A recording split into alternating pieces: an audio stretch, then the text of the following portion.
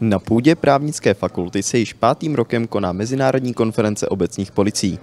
Celkově se jedná již o sedmý ročník této sešlosti. Náš nejvýznamnější partner eh, pro zajišťování vnitřní bezpečnosti a veřejného pořádku v České republice je prostě městská policie. Já jsem jezdím rád už jenom proto, abych měl zpětnou vazbu městských policií, abych mohl eh, městským policiím aspoň jednou za rok poděkovat za spolupráci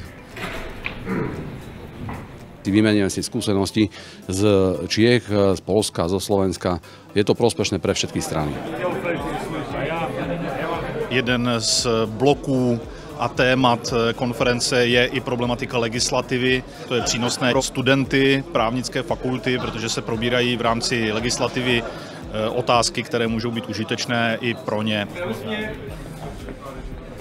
moudrý student, který si zaslouží studovat na, na UP, tak eh, dokáže určitě dozrát k tomu, že městská policie je potřebná a bez ní by ten pořádek nešel udržovat. Tématem setkání byla mimo jiné bezpečnost, představení nových technologií, prevence nebo také edukace.